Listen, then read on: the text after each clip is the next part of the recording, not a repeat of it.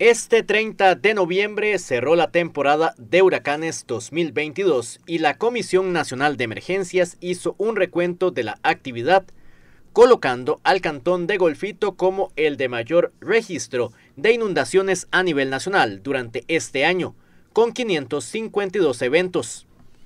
Este 2022 estuvo marcado por una intensa actividad lluviosa, fortalecida por factores locales, la zona de convergencia intertropical, el fenómeno de la niña y eventos extremos como los huracanes Julia y la tormenta tropical Bonnie. Los expertos indicaron que se debe añadir el inadecuado uso de los suelos, poca planificación urbana, invasión de zonas de riesgo como cauces de ríos, problemas de alcantarillado, entre otras. Esto se ha traducido en lluvias muy intensas, principalmente a lo largo del Pacífico, el Valle Central y la zona norte de nuestro país. Un total de 6.200 reportes de inundación se han atendido a lo largo de este año.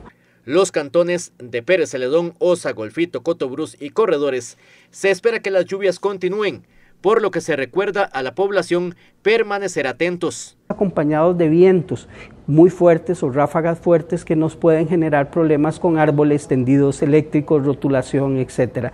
Recomendamos a la población que vive en áreas eh, donde ya no hay presencia de lluvias aprovechar este tiempo para eh, realizar limpieza, mantenimiento eh, de todo el sistema de todo el sistema de manejo de aguas de su comunidad, de sus viviendas.